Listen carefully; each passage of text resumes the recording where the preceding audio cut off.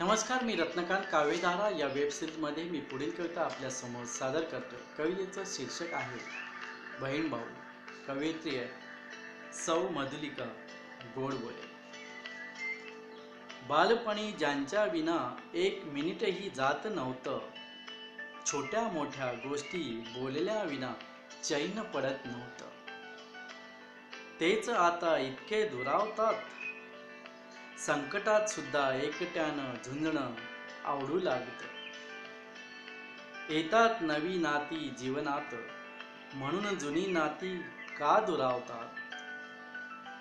पती मुलं तर नंतर येतात.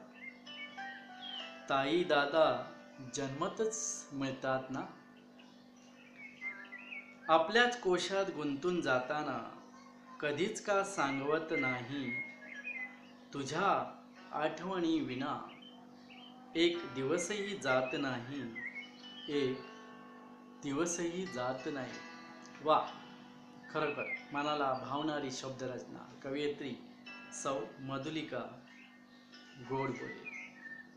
धन्यवाद.